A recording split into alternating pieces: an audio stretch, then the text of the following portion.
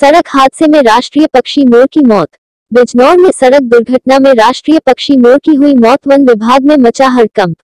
आपको बता दें, जनपद बिजनौर के वन क्षेत्र नगीना के अफसलगढ़ जसपुर मार्ग एन एच चौहत्तर पर अज्ञात वाहन की टक्कर से एक राष्ट्रीय पक्षी मोर की मौत हो गई। राहगीरों ने घटना की सूचना डायल 112 को दी। सूचना पर पहुँची पुलिस ने वन विभाग को सूचना दी और आसपास जमा भीड़ को हटाया। मौके पर पहुँचे वन विभाग के अधिकारी और कर्मचारियों ने मृत मोर को कब्जे में लिया। वीरेंद्र सिंह बोहरा, वन क्षेत्र अधिकारी नगीना ने बताया की नगीना वन क्षेत्र के अंतर्गत अफजलगढ़, जसपुर मार्ग पर एक सड़क दुर्घटना में राष्ट्रीय पक्षी मोर की मृत्यु हो गई। है। राष्ट्रीय पक्षी मोर के शव को कब्जे में ले लिया गया है। पोस्टमार्टम और अन्य कार्रवाई कराई जा रही है।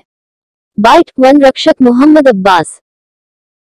मेरा नाम मोहम्मद अब्बास है। ये जो मोर मरा है इसकी मौत का कारण क्या है और कहाँ इसे लेके जा रहे हैं भैया हमें तो सूचना मिली थी कि ये जो है किसी गाड़ी से काट रहा है। तो अभी इसे कहाँ लेके जाएँगे? चलिए ये तो अधिकारी बताएँगे और इसका पैनल बनेगा जो भी है। पीएम कराया जाएगा? पीएम कराया जाएगा।